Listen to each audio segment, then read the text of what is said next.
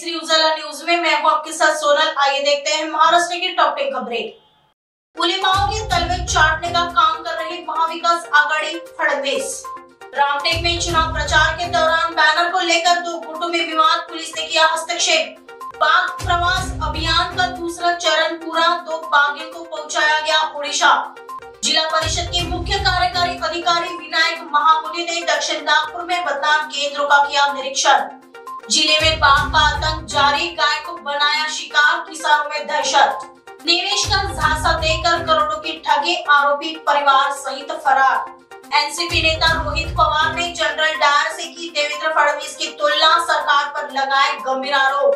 कामठी विधानसभा क्षेत्र में एक सौ उनतीस मतदाताओं ने घर बैठे अपने किया अपने मताधिकार का प्रयोग। मुंबई में हुई प्रधानमंत्री की सभा से नदारद उप मुख्यमंत्री अजित पवार। महाराष्ट्र विधानसभा चुनाव में हुई संतों की एंट्री गोविंद देवगिरी महाराज ने हिंदुओं को एकजुट होकर मतदान करने का किया आह्वान।